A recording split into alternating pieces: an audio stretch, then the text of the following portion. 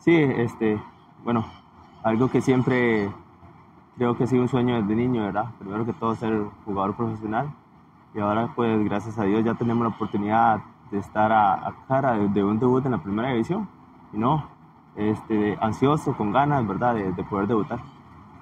Contanos un poquito de vos, posición, cuántos años tenés. Sí, bueno, mi posición es defensa central, tengo 28 años este, y hace aproximadamente dos años llegué al Municipal Iberia.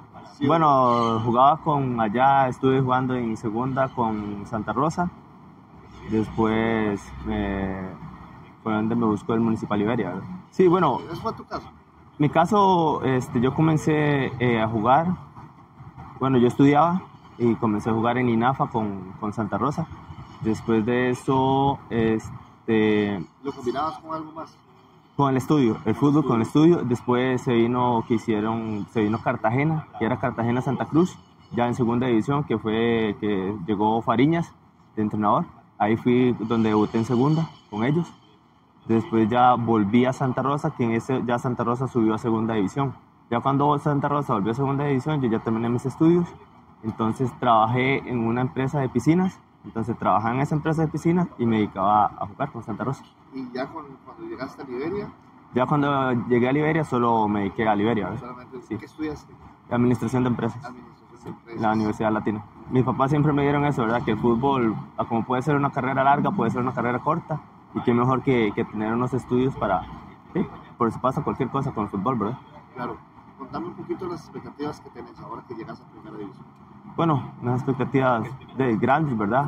Espero que, que, tanto a mí como a mis compañeros nos vaya de la mejor manera o y poder hacer un, gran torneo y por qué no aspirar a clasificar y ser campeón.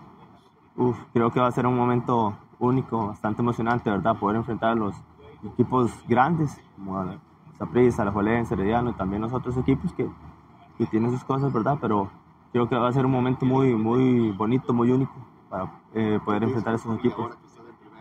Ah, mi familia está súper contenta. Ellos siempre, bueno, ha sido una familia futbolera, ¿verdad?